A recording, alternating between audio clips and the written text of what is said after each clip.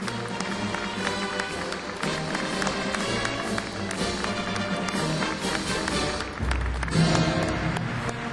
we're going to show through technological advancements that we can actually put an airplane in the air from the aircraft carrier and bring it back and integrate that with manned aviation at some point and show collaborative operations are someday a possibility for our nation. The unveiling of the X 47B represents the first time the world sees our airplane. It is important to Northrop Grumman in that it is the first time Northrop and Grumman have de- had designed an airplane together from scratch. It is important to the Navy because it's a brand new capability for the Navy. It is important to the nation because it represents the Navy's new role in long range, persistent surveillance and strike. Uh, we look forward to the next round of this, which is actually to do the testing of the airplane and going on from here to first flight this year.